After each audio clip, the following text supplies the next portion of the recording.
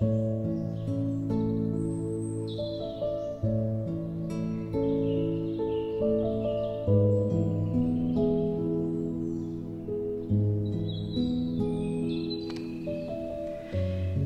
à tous, c'est Célia, je suis ravie de vous retrouver aujourd'hui pour la présentation de ce livre 365 façons de vivre généreusement de Sharon Lipinski qui a été édité aux éditions Améthyste. Donc c'est un livre que j'ai bien aimé parce qu'il se présente un peu comme un almanach, même pas un peu, c'est euh, il se présente de la même façon. Et j'aime bien ce type, de, ce type de livre où vous n'allez pas le lire de A à Z, du début jusqu'à la fin, mais vous allez pouvoir piocher comme ça au fur et à mesure des petits conseils, des petites astuces. Donc, euh, donc voilà, c'est un, un, gros livre hein, en plus. Hein. donc on a 365 euh, façons de vivre généreusement. Et le livre, pour le coup, fait... Euh, alors je vais vous dire ça, à peu près entre 450 et à peu près 450 pages. Voilà. Alors, des habitudes simples pour une vie heureuse pour vous et pour les autres. Et ce que j'ai bien aimé, c'est que euh, ce livre, en fait, il va creuser. Euh, il ne donne pas juste une petite astuce et puis euh, débrouillez-vous. On va un tout petit peu plus loin quand même à chaque fois avec. Et j'ai trouvé ça assez sympa. Alors, il se présente semaine par semaine. Voilà. et en sachant que l'auteur, justement, Sharon Lipinski, elle est donc elle est américaine. Hein et elle s'est euh, spécialisée un petit peu dans cette, euh, dans cette euh, j'allais dire problématique, mais c'est pas une, problématique, elle s'est vraiment investie dans, dans le dans tout ce qui est don, dans tout ce qui est association. D'ailleurs, elle a créé hein, sa propre association, voilà, une association à but non lucratif pour aider les gens à faire des petits dons dont l'impact est démultiplié pour qu'ils s'ajoutent à ceux faits par d'autres personnes qui supportent la même cause. Donc on fait chacun un petit don et au final on a quand même une belle somme justement pour, euh, pouvoir aider euh, autour de nous. Donc elle est vraiment spécialisée dans ce côté à cœur ouvert, ce côté généreux et c'est vraiment ce qu'elle a essayé de mettre en place elle dans, dans sa vie et apporter une solution pour que les autres puissent à leur propre euh, niveau, à leur propre en fonction de ce qu'ils peuvent donner, aussi participer à cette, euh, à cette générosité, à cette vie justement généreuse. Alors je vais prendre au hasard et je vais vous, je vais vous montrer un petit peu voilà, comment ça se présente. On a au jour le jour, donc on est toujours semaine par semaine, c'est trié semaine par semaine, puis ensuite jour par jour.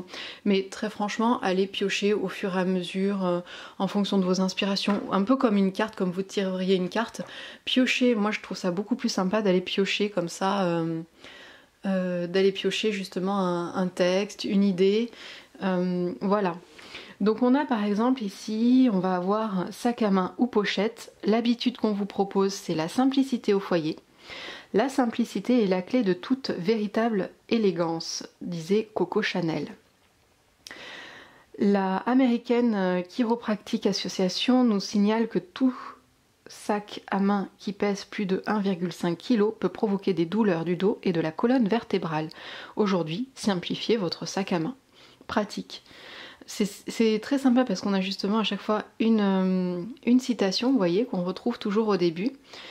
Et, euh, et ensuite, on passe à la pratique, à une activité où euh, voilà, on a un petit texte d'introduction, une petite ligne d'introduction, une petite phrase d'introduction et ensuite une, idée à mettre en place concrètement dans notre vie.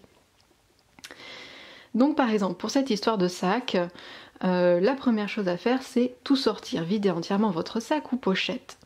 Vous faites un premier tri, les choses qui partent à la poubelle, ensuite vous triez pour mettre ensemble les objets qui vont ensemble. Vous relogez, rangez ailleurs les objets qui ne sont pas à leur place, vous choisissez de quoi avez-vous besoin dans votre sac à main ou votre pochette, vous organisez, servez-vous de sac pour euh, mettre ensemble les objets similaires, l'option la moins chère et la plus pratique est un simple sachet refermable transparent, mais vous pouvez utiliser n'importe quel sachet qui peut être fermé hermétiquement. Vous pouvez avoir un sachet de bureau avec un stylo, un marqueur, un peu de papier et autres objets similaires, un sachet pour la santé avec les aspirines, les mouchoirs, les, gels antibactériens, des pansements, etc. Et puis un sachet pour les cosmétiques, etc. Voilà. Euh, pesez, si votre sac à main pèse plus de 1,5 kg, réexaminez ce qu'il contient et enlevez tous les objets lourds ou volumineux. Prenez des objets format voyage et débarrassez-vous de plus de choses. Voilà donc euh, sympa. Une astuce qu'aurait pu donner Marie Kondo. Alors, on va prendre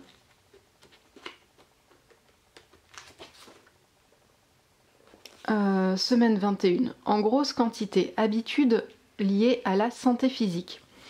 Cuisiner est à la fois un jeu d'enfant et un plaisir d'adulte, et cuisiner avec soin est un acte d'amour. De Craig Claiborne. Euh, oui, c'est ça. Craig Claiborne.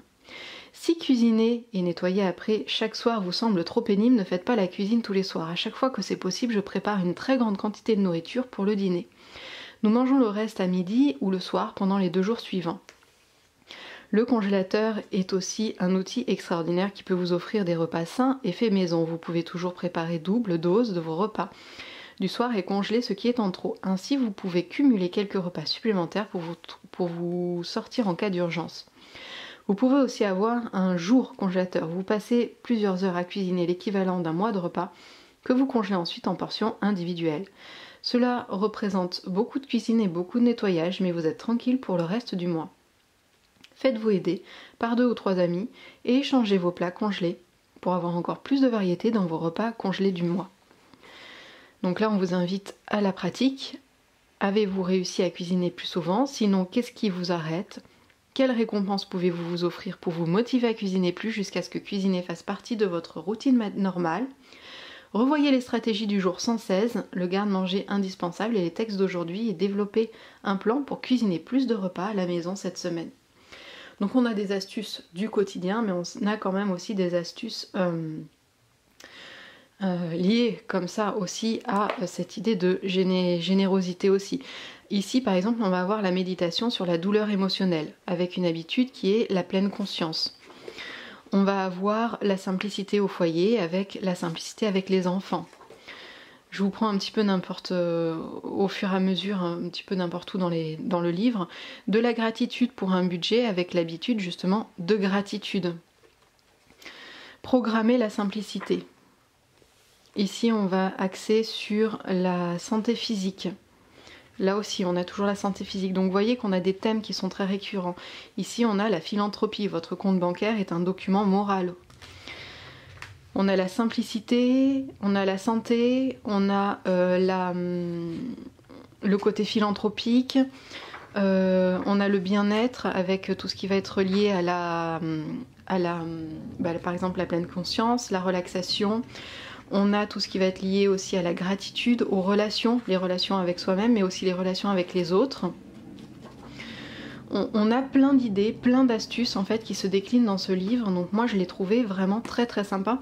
Et euh, c'est un livre que j'aimerais offrir autour de moi. Je pense que je vais acheter, euh, je vais acheter 2-3 euh, livres sans doute pour les vacances de pas pour les vacances pardon pour, pour Noël pour pouvoir offrir autour de moi parce que c'est un livre qui est vraiment très simple à lire parce qu'on va piocher au fur et à mesure et plein de bons conseils. Voilà, donc je pense que c'est une belle idée cadeau, euh, ce livre-ci. Et je pense que je vais le mettre en pratique euh, de mon côté à moi. Je vous mets la référence de ce livre en dessous en barre d'infos. Comme d'habitude, si vous voulez le trouver, si vous voulez le commander aussi, je vous mets toutes les références juste en dessous. Et puis, euh, et puis nous, on se retrouve très rapidement pour d'autres vidéos, d'autres découvertes, d'autres lectures. Bye bye